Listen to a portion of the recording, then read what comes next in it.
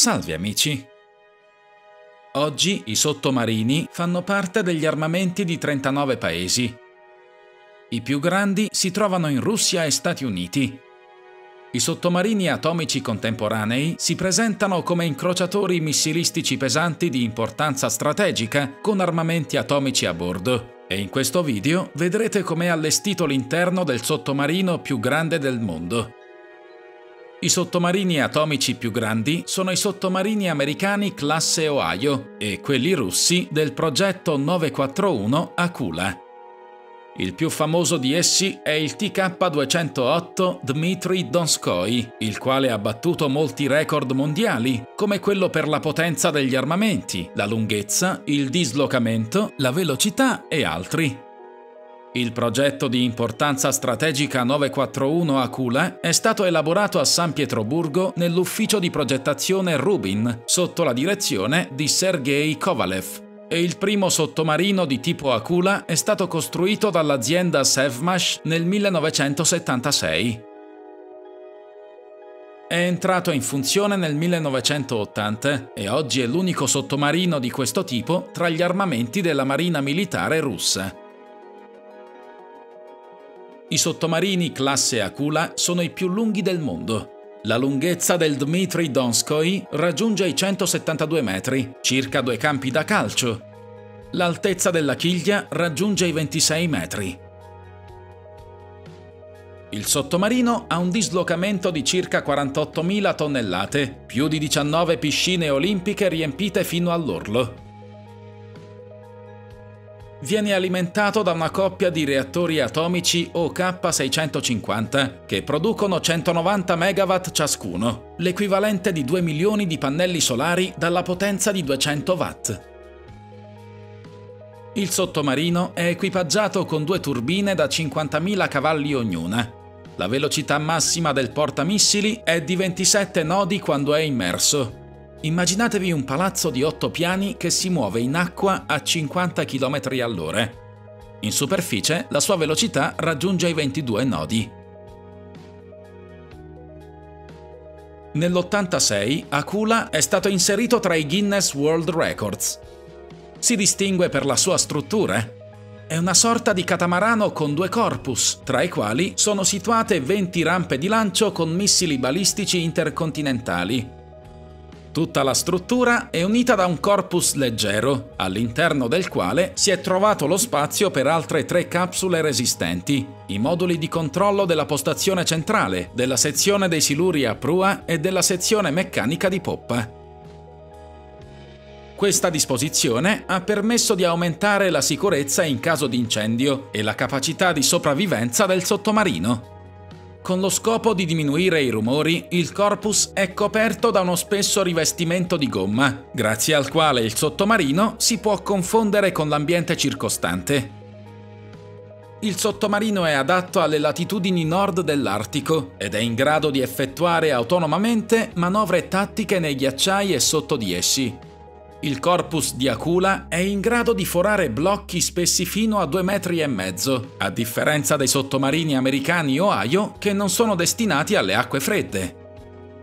Le enormi dimensioni sono dovute all'ingombro dei nuovi missili balistici intercontinentali pesanti con i quali è equipaggiato. A confronto con quelli americani, questi missili classe R-39 hanno migliori caratteristiche di gittata, 8300 metri. Ciò significa che possono volare fino all'equatore dal polo nord. Le gigantesche testate di 90 tonnellate, lunghe 16 metri e con un diametro di 2 metri e mezzo, sul Dmitry Donskoy sono 20. Tra gli altri armamenti ci sono 4 siluri da 21 pollici e 2 da 26. La difesa antiaerea è formata da 8 missili PZRK Igla 1 la struttura del sottomarino è talmente unica che fino ad oggi nessuno è riuscito a replicarla e, come ritengono alcuni esperti, nessuno sarà in grado di farlo. Ricorda una baguette leggermente schiacciata e all'interno è formato da due cilindri a forma di sigaro situati parallelamente, dal diametro di 10 metri, con tre corridoi tra le sezioni. È come se in un enorme corpus ci fossero due sottomarini, poiché in ogni cilindro è tutto doppiato, anche i reattori, le turbine e le cabine. Grazie a questa struttura la probabilità di distruzione è minima. Se una metà del sottomarino va fuori uso, la nave può continuare grazie all'altra metà.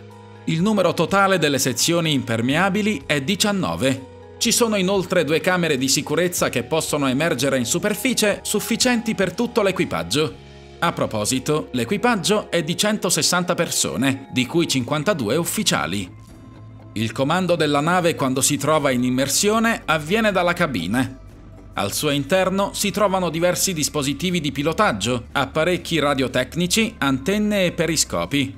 Un ponte più in basso, nella postazione centrale, avviene il comando per il lancio dei missili o dei siluri.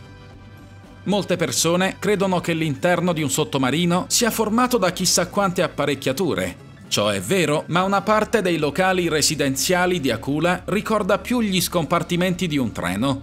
Lunghi corridoi, porte scorrevoli, rifiniture in plastica. Scendendo dalla passerella della zona residenziale, finiamo prima di tutto nella zona relax.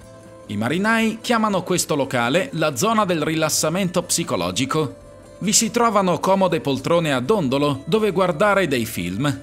C'è anche un vecchio televisore a tubo catodico costruito ad hoc per i sottomarini. Ci sono fiori e un acquario per i pesci. Proseguendo, finiamo in un altro luogo interessante, la palestra. Dietro c'è la piscina. Più avanti sauna e docce. Il Dmitry Donskoy è stato creato per operare al nord, per questo l'acqua della piscina è sempre ghiacciata la cosa migliore è tuffarcisi dopo la sauna, che per questioni di sicurezza è elettrica. Per arrivare agli altri locali bisogna passare attraverso una serie di zone residenziali e corridoi. Il corpo ufficiali e i comandanti vivono in cabine singole, il corpo ufficiali giovani in cabine doppie, i sottotenenti e i marinai in cabine da quattro nelle cabine dei marinai è quasi tutto come in un treno, come le cuccette a parete, solo molto più comodo. Ci sono scrivanie, armadietti per i vestiti e lavandini.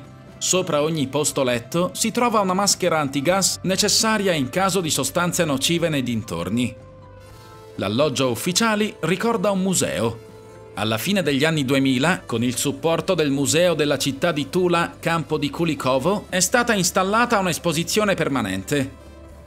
Non ci dimentichiamo della mensa e dell'unità alimentare, la cosiddetta cambusa. Qui cucinano cuochi professionisti in continua formazione. La razione quotidiana di un marinaio prevede cioccolato, vino rosso, caviale rosso o pesce rosso. Anche i compleanni dei marinai vengono festeggiati. Il cuoco prepara una torta che viene consegnata nella postazione centrale del comandante della nave. Con il salone del comandante e della sua cabina termina l'escursione all'interno del sottomarino atomico più potente del mondo, poiché nelle sezioni di importanza strategica l'accesso alle persone non autorizzate è severamente vietato. L'unicità del Dmitry Donskoy sta anche nel fatto che il suo modello è stato usato in molti film, documentari e libri, il giornalista americano Mark Episcopos ha riconosciuto le capacità micidiali del Dmitry Donskoy definendolo la macchina del giorno del giudizio universale. Amici, che ne pensate? Vale la pena spendere enormi fondi statali per costruire macchine del genere? Scrivete un commento, lasciate un like e iscrivetevi al canale. A presto!